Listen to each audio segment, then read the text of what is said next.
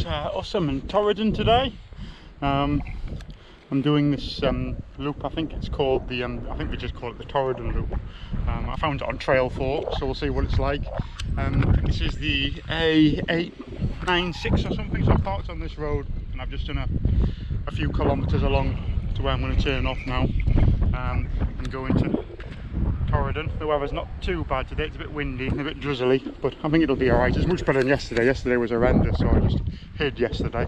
Um, there was two real big loops on Trailforks around, which was this and uh, the Torridon Lollipop. So we do part of the Lollipop, but this has got a little bit more road work in it, but it's a longer loop. So it's probably from the Torridon Hotel, it's probably about eight miles to here I've parked somewhere in the middle so I've split that in two. So I've got like a four mile road ride when I finish when I come off the hill. Um, so we'll see how we get on today. Um, hopefully it'll be quite a nice loop because when you look at a map you don't know whether um, a path is like whether it's rideable whether it's just bog or whether it's a hardcore track who knows? That's us at the end of the loch. Let me through Come on.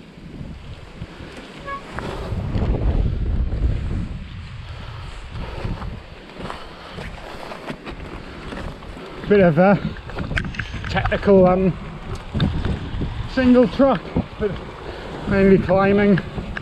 Um, some real little challenges there on this section. And some pretty abysmal fails by me. You see this is another fail, is it? Shit. Uh, fail span out. Just our path probably at the high point of um well this I can't remember is called. Um something called like Corrie something of it. I'm not even going to try and pronounce it. Dorcard Corrie So we're going to start and I think this is mainly a descent from here on back down to a bit of tarmac and then the second part of the route. Um, well, I'll leave the camera on or we'll go down here see if there's anything worth uh, worth riding. So far it's been a, a technical, technical climb mainly. Um, technical push in my case, some of it. If you're really good, good at technical climbs, you'll love that.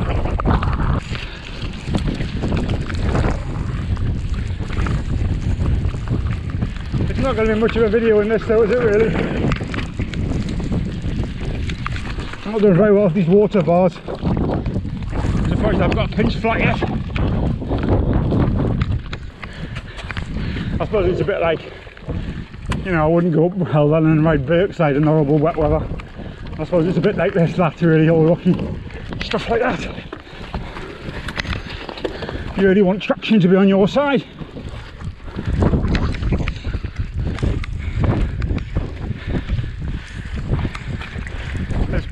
Mountain biking, doing it in the, the shit weather.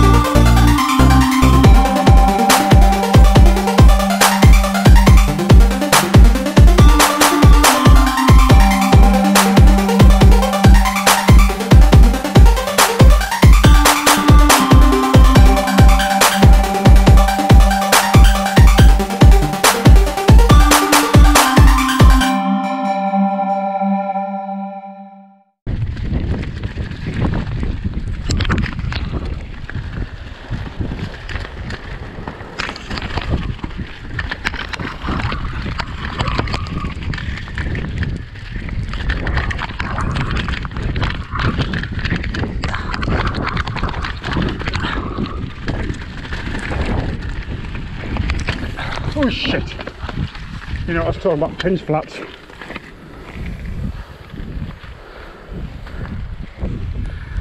Oh, that's one there. Right, that's a pinch flat repaired. How quick was that? Instantaneous. I'm going to be a bit careful now because uh, I've only I haven't got. I meant to bring two tubes with me, but I used one of them because I had a flat front, um, and um, it had a thorn in it, so I changed it, and then uh, so I only had I've only got the one tube which I've just put in. So I've got my puncher repair kit with me, but that one there was the way that went.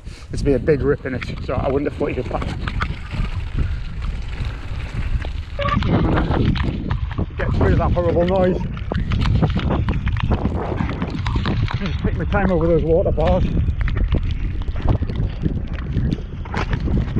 Oh fucking hell. That was pretty poor, that poor, poor, poor, poor show. Poor show. Too much brake, just let go a little bit.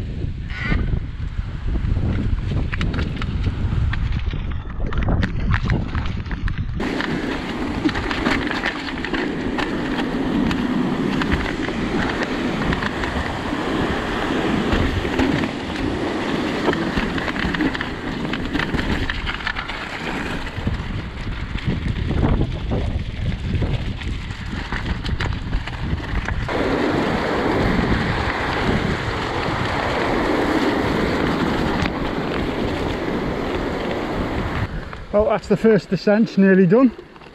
Just down this forestry road onto the tarmac road, and then we've got a little bit on the tarmac. I mean, it was really nice, gradual climb up there, and a nice technical descent. I mean, it was wet today, and I assumed it would be slippery, but actually that rock wasn't too bad. I would still much rather, I felt more confident doing it in the, um, in the, uh, in the dry, because um, you just are, aren't you? I mean, it's um, my perception of slippy wet rock is, is um, you're going to fall off. If you try and touch your brakes on stuff like that, but actually, it wasn't bad at all. It wasn't bad at all. I still would, would prefer to do it in the dry because I'd have felt more confident riding it. And a few kilom, just had a few kilometres on the road. Now we're back onto this fire road, taking us up to the last uh, last col I would imagine before the descent. Hopefully it's not too bad. It's quite watery so I'm hoping there's not any big river crossings on it because uh, I think I'll struggle today.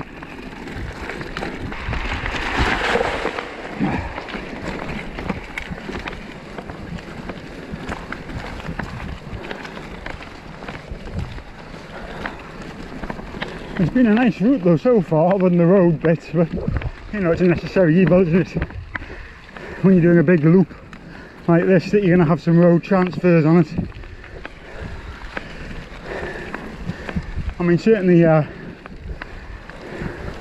scenery wise it's been lovely.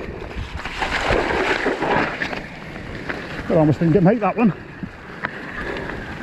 Because I've been using on the past I've got this Garmin it's a really old one a 62S, one of the original ones, with mapping in it. And it's really clunky to put routes in using the Garmin app.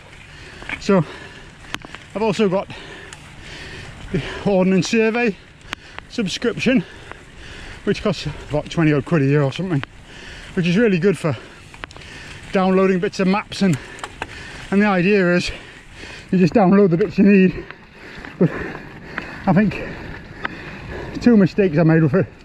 One is I was obviously a bit tight with the ink and didn't want to give myself big enough margins around the edges and between where the paths cross over.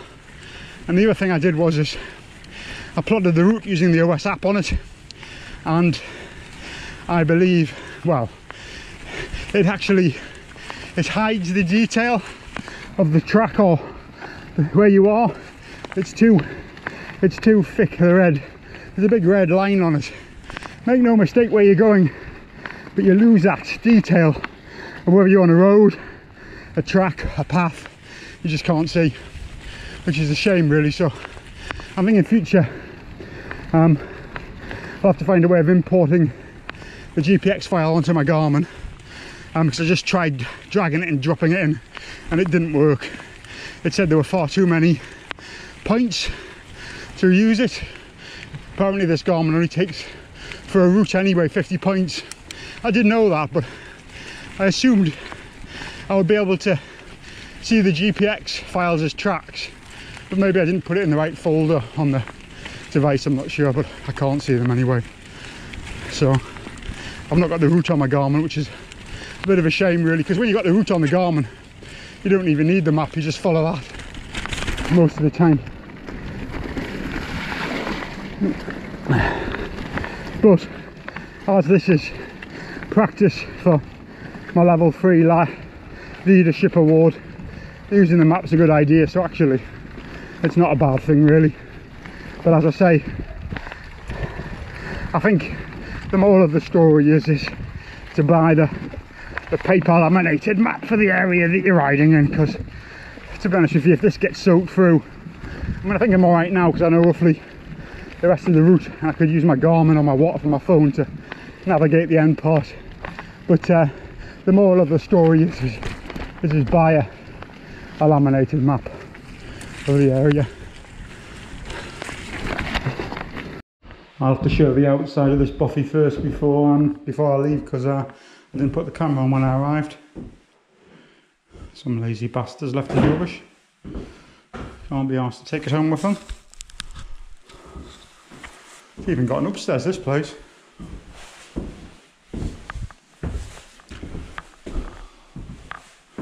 Go and explore.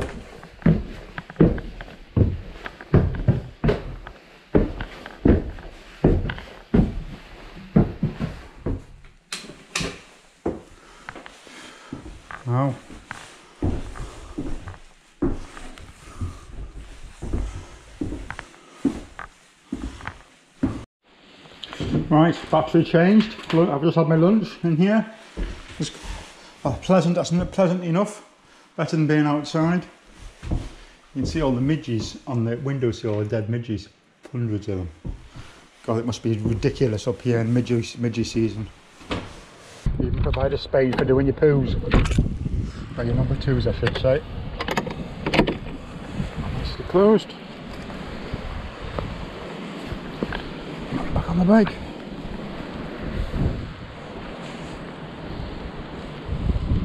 Pretty well maintained um, Bothy though.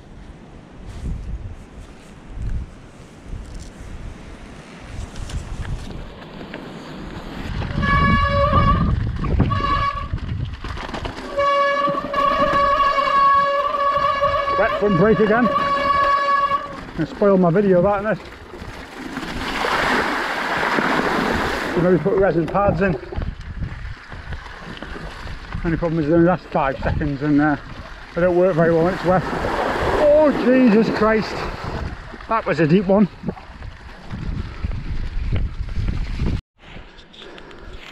So this here is where we've just joined the other path. Now I think the Torridon Lollipop comes along here and back round this way. I wouldn't swear to that, but I think that's uh, I think that's where that goes. So almost at the top of this col here. Um, I could probably ride on this, this bit. Um, but uh, bit of a slog up here really.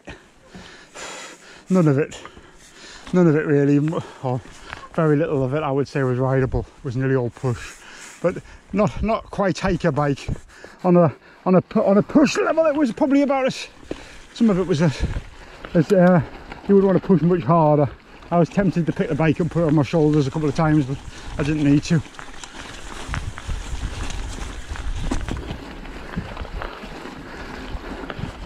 I mean it would be quite a good route up on that little bit there for an e-bike so far I would have said.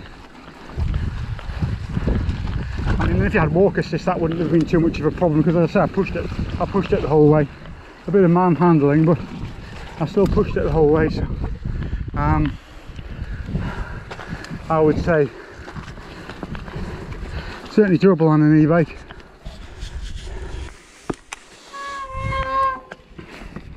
right hopefully it should be generally downhill from here but I don't think there might be a few little bits of up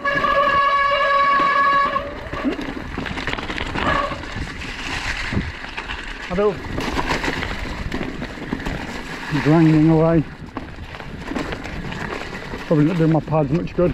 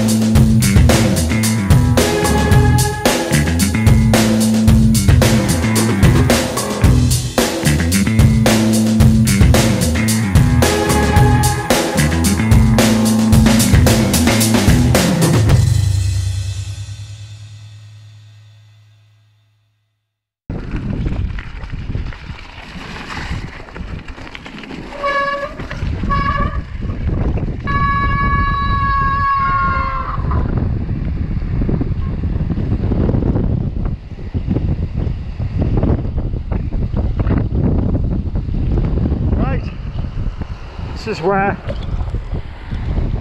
have a laugh and watch me get wet.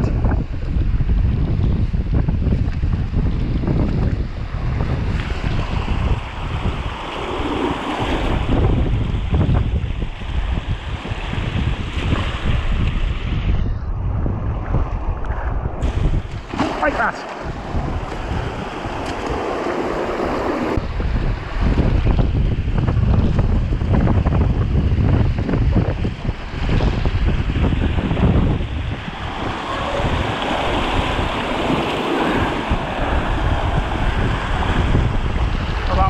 moving.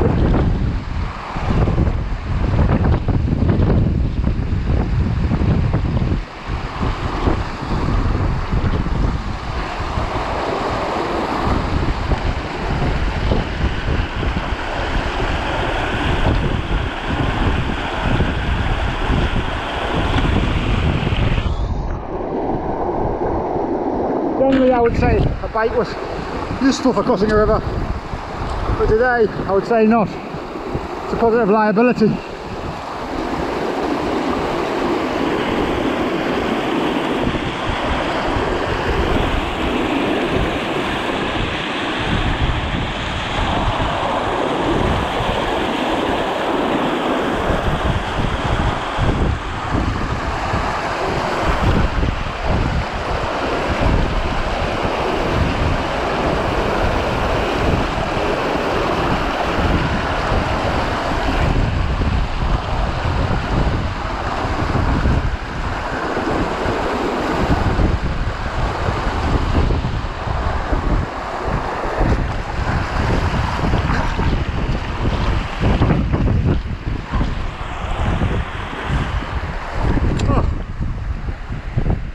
I put in your wheel bearings and back in my bike because oh, I've not done it much good.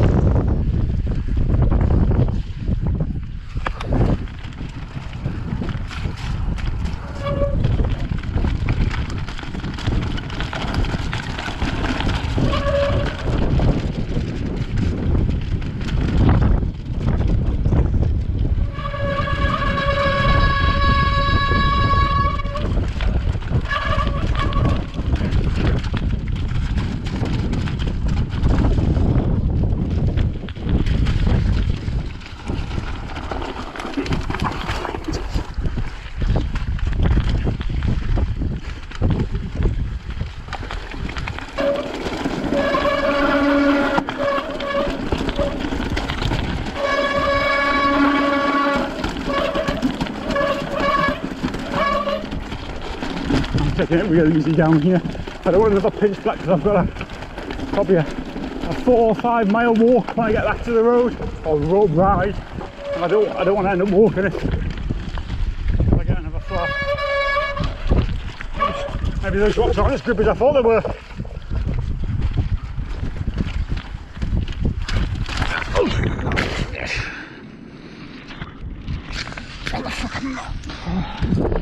I should have worn my body armour today after all.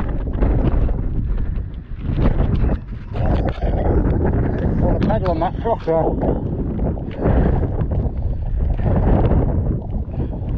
No harm done, that's good. Well, not to me anyway.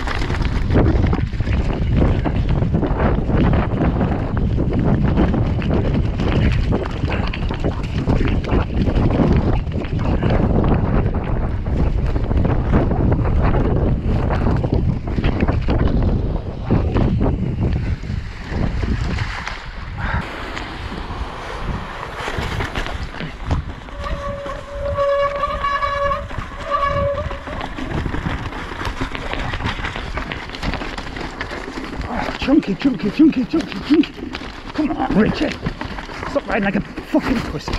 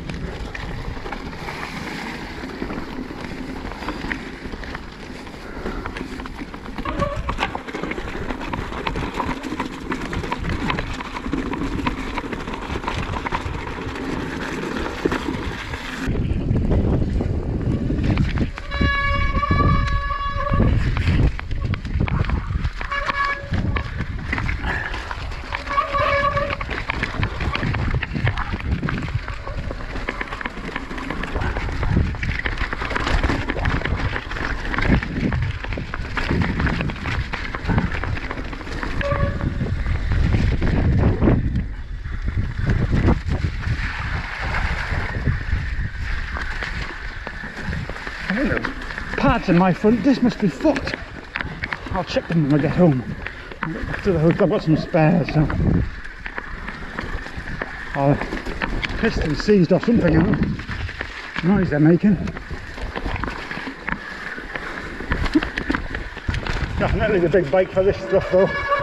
Oh, mind you, this isn't a bad bike, it's just, it just needs a little bit of more maintenance work.